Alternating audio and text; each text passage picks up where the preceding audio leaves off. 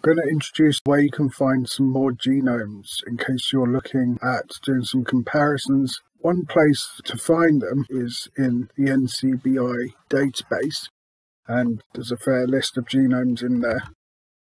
If I just type in this one here, and select genomes here,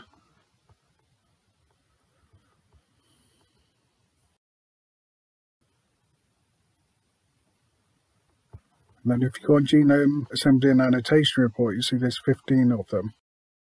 These are in various levels of assembly, with this here being a complete genome assembly and the others being incomplete. There's another place where you can find genomes. If you go over to PubMLST, this is Public Database for Molecular Typing and Microbial Genome Diversity. Now, if you go on to Organisms,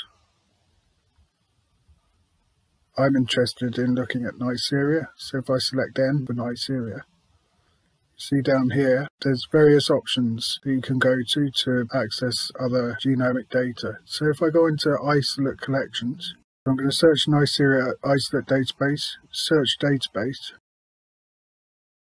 You go into here and then select species. Again, select Neisseria subflava and display all records. Then press search. This actually brings up a list of other genomes. This also has other isolate information with it. So some of these, uh, I think about two of these on here are actually duplicated and present on the NCBI database, but it actually also includes a lot of other isolates that aren't present on the NCBI database. It's a country where it was identified the year as well, and also whether it's been associated with a disease. Neisseria subflava is a commensal, but you can see for some of these it's actually been uh, taken from a subject where it's been involved in an invasive disease, but most of the time it's carrier, so it's uh, commensal. There's a couple of interesting things you can do at this point. If you go down to the bottom of the page, you can actually get the sequence data for this. The way to do that is to select one of these. You can actually see here number of contigs that it was assembled into, the length of the genome according to the contigs. And there's a few things that you can do here. You can actually extract the sequence. So if I go show sequence bin, then you can go on to FASTA. If you open that and just have a look, so you'll see here, this is the FASTA sequence for that genome. And this is one that isn't actually present on NCBI. So it's quite interesting and there's quite a lot to choose from if you go back and have a look at your list. So if you're looking for more information, especially if you find that what you're trying to look at doesn't have an awful lot of sequenced genomes on the NCBI database, you can always check through here and just see if there's any other ones as you can see, where there's 15 on the NCBI database here, there's quite a lot more actually present here. There you go. That's one thing to do for extra data. Now there's another interesting thing that I was just going to highlight and it goes back to identifying species. I know I talked about Mauve previously where you can actually use Mauve to align genomes and look for similarities to try and sort of strengthen the case for assigning an isolate to a particular species. But within the PubMLST database, there's a tool called Genome Comparator. If you go onto Genome Comparator, okay, you'll see you've got this here. It's just one of the many tools that's present on this website. What you need to do if you clear that, is make a list of genomes. If you have a look here, I've put together a list of genomes with one that's unknown. What I've got is a genome, try to do some sort of analysis on it, try and establish exactly what it is. And I've done that through various means.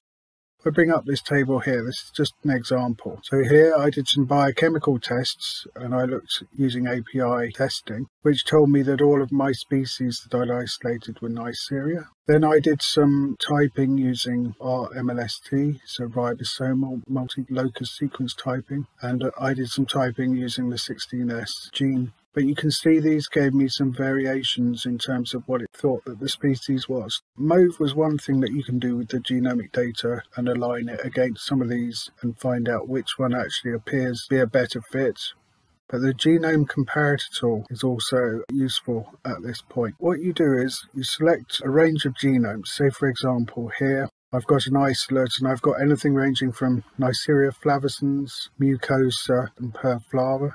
What I've done is I've put together a folder and in it I've put a range of different Neisseria species. So I've got Subflava, Sicca, Mucosa, Meningitidis, Lactamica, gonorrhea, so the two pathogens in there, elongata as well as my unknown. Now what you need to do at this point is you need to then convert that to a zip file. It's basically sent to compressed folder and it will create a zip file for you. What you do then is in the genome comparator tool, you're going to compare genome that you're interested in trying to find out or see what it matches to, to the other ones. Whereas the RLMST and 16S typing use a small number or just one particular gene. In this case, the whole genome comparator will actually look and compare against a much larger number of genes. So what I'll do is you need to put your zip folder in there and then here so you can select schemes to actually do the typing of your unknown. You can choose MLST, ribosomal MST, but here I'm going to select this. So it says here for the Neisseria meningis CG, so that's core genome multilocus sequence typing. And actually that's going to look and do a comparison across over a thousand genes of the core genome. You can adjust some of the settings here. So as you can see, core genome analysis. So the percentage of isolates that the locus must be present to be part of the core genome. Well, all Neisseria are quite closely related, so you'd expect that most of the genes will be present in all of the ones that we have selected, but I'm going to put this to 80% just to be sure. You don't need to include anything at this point. Okay, this is if you're comparing an unknown against an annotated reference genome. For this, I'm going to use this here. Calculate mean differences. This will actually um, form alignment of the sequences for each of the gene. And as it says there, it takes a little bit longer. And then at this point, you can press submit. So as you can see, it takes a little bit of time to do this. So I actually did this earlier and the output you'll get is something that looks a bit like this. So it's quite a large page of information. See, once the job's done, it will say finished, 100% complete. And you'll look down the page here. And what you have here is analysis against defined loci. So for each of the uh, strains or species, you can see here along the top. And then here, locus, so that's the gene, what that actually encodes as well and its presence as well. So X means it's not present. So you can see an E. coli against the other Neisseria. Some of the genes aren't there. So it's quite hard to actually visualize it looking like that. But then if you go to the bottom of the page, down here, you should be presented with some other information. You can have the output in various formats. One of the outputs is to select the Excel format. So the table that you saw above on the web page, you can then actually have an Excel format. You can see for all of the genes, if you have a look down at the bottom of the page, it's actually looked across 1600 genes and it's looked for their presence across elongata, gonorrhea, lactamica meningitidis, mucosa, and so on. So you can see obviously in some of these species, genes aren't present where they are present, say for example, in the pathogens and lactamica, which is quite closely related. The other thing that you can do here is you can get a basic tree up. Now it's quite hard to see when looking like this, but it's tried to calculate some kind of connection between these visually. This information here, you can actually download. So if you go here on distance matrix nexus format, click on that one, you'll get a distance matrix, okay? So this is what is used to actually create phylogenetic trees. So this is for all of the species that we put in. Looking at that, it's hard to see, but we're going to import this into another program. If you go up here, save this page as, it's important, you can't copy and paste this, you need to save page as. Okay, so I'm going to just put it back into the folder where I have my genomes. So keep it in this format. Once it's downloaded, if you look in that folder, you'll see you've got this here. So this is what we've just downloaded and it's Nex. So it's a Nexus file. So it's a file type that's got the information to build a phylogenetic tree. So that's for the 1600 or so genes comparison across them. If you go back and have a look on here a second, you'll see here, this was created the NeighborNet tree, but it's created by a program called SplitsTree. So SplitsTree is a piece of software that will actually create phylogenetic trees. If you want to find out where you can download a copy of that, if you have a look just here, You'll see um, University of Tübingen. Then have a look down here, Algorithms in Bioinformatics, Splits Tree. So you can actually download a copy of Splits Tree. I've actually done that already. I'll just bring up Splits Tree. Now when you see this, what you need to do is then import that file so file, open, find out where you saved that Nexus file. So in this case, I put it on the desktop. You go into where you saved it. Now down here, you're looking for Nexus file and now you'll see it there. Just select that and open it. Now the image that you're presented with actually looks fairly similar to what you had before. If you want to get this into, I personally find it, it looks better and it's more easy to actually understand it when looking at it in the uh, traditional tree format. So if you select trees, neighbor joining, distances, neighbor joining, apply. So you need to hit apply, then go on to draw, and then select phylogram. That'll give you this phylogram image rather than the circular image that you see. I'm going to select cladogram here. That will assign groups of organisms into clades. Uh, hit apply. So this is what we're looking at.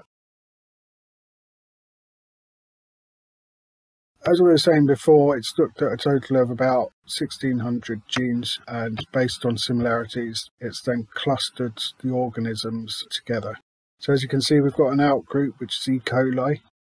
Our unknown is here. So we suspected it was one thing. We've done some analyses on it. If we look, take a look at our table, we knew it was Neisseria. We thought it might be flavescens, say for example, or subflava, or perflava, but actually perflava and subflava and flavescens are almost, well, they're biovars, so they're very similar. But we've got another one in here, so RMLST predicted this could be Neisseria mucosa. Now, the alignment suggested it wasn't mucosa that I did using Mauve, but then we're using this whole genome comparison or looking at the core genome to try and assign this to a particular group. And we can see here our unknown actually fits within this cluster here containing the subflava. So a good fit for it as suggested by the other evidence. So when you're looking at subflava, biovar, perflava, flavescens, obviously we're looking here that the core genomes fit within this uh, cluster containing Neisseria subflava. So you can see E. coli is an outgroup, but the other ones, so the pathogens here, gonorrhea and meningitis and the closely related lactamica are all clustered together. But we can see our unknown doesn't fit within the cluster containing Neisseria sicca or Neisseria mucosa. So it's quite interesting. It's just another level of analysis that you can do.